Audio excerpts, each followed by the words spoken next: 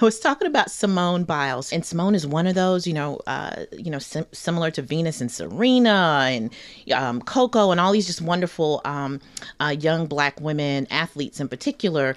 And this is this moment where I felt like she was coming into her own mm-hmm. as like a political figure um, you know, stepping outside of that little box that they put Olympic athletes in. And she was saying, you know, they were penalizing her because one of her routines had a, a move with a rate of difficulty that is apparently off the charts, right? right. And one of the things she's known for is her athleticism. And um, gymnastics tends to prefer uh, quote unquote grace to athleticism. Right. All these coded words, right? Yes. And that yes. is very coded with race and class and gender, yeah. um, read through body type, you know. Right. And so she was saying, listen, you don't want me to do my best, what would make this challenging for me, I will go home.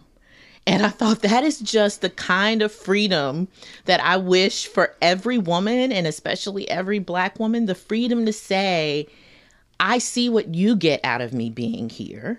Right. But there's nothing for me right. in this scenario. And so I will stay home. Yeah. Uh, and I loved that and could relate, I guess.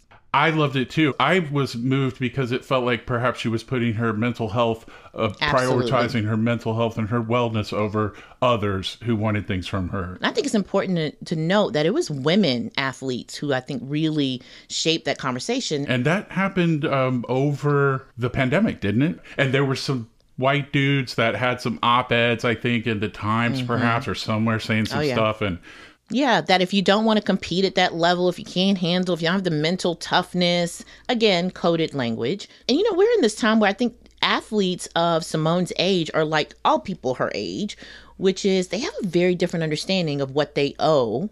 Yes. An audience or a boss or an employer, right? And right. I think it is actually fundamentally healthy.